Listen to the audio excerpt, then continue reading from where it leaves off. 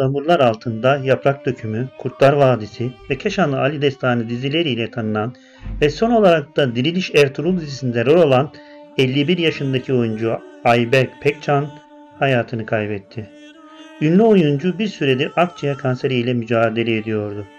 Pekcan'ın ölüm haberini Mersin Sanayicileri ve İş Adamları Derneği Mesiyat Yönetim Kurulu üyesi Sait Dervişoğlu sosyal medya hesabından duyurdu.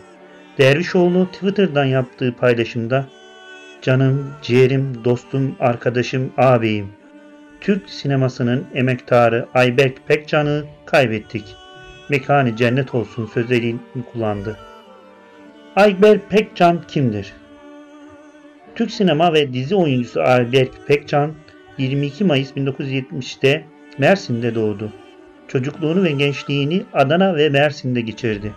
İlk ve orta öğrenimini Adana'da, liseyi Mersin'de okuduktan sonra Mersin Üniversitesi Güzel Sanatlar Fakültesi Sahne Sanatları Bölümü Tiyatro Ana Sanat dalını bitirdi. Daha sonra İstanbul'da oyunculuk kariyerine başladı. Ihlamurlar altında Yaprak Dökümü, Kurtlar Vadisi ve Keşan Ali Destanı adlı televizyon dizilerinde ana rollerde oynadı. 2010 yılında başlarının oynadığı Saç adlı sinema filmi ulusal ve uluslararası film festivallerinde ödüller aldı. 2012 yılında gösterime giren Aşk ve Devrim adlı sinema filmindeki performansıyla 23. Ankara Uluslararası Film Festivali'nde en iyi yardımcı erkek oyuncu ödülüne layık görüldü. 2014-2018 yılları arasında Diriliş Ertuğrul dizisinde Artuk Bey karakteriyle boy gösterdi. Bugüne kadar daha birçok tiyatro, sinema çekimi, dizi filmlerde rol alan usta aktörün başrolünde oynadığı son filmi Dilberay filmi ise bu cuma vizyona girecekti. Biz de oyuncumuza Allah'tan rahmet, sevenlerine başsağlığı diliyoruz.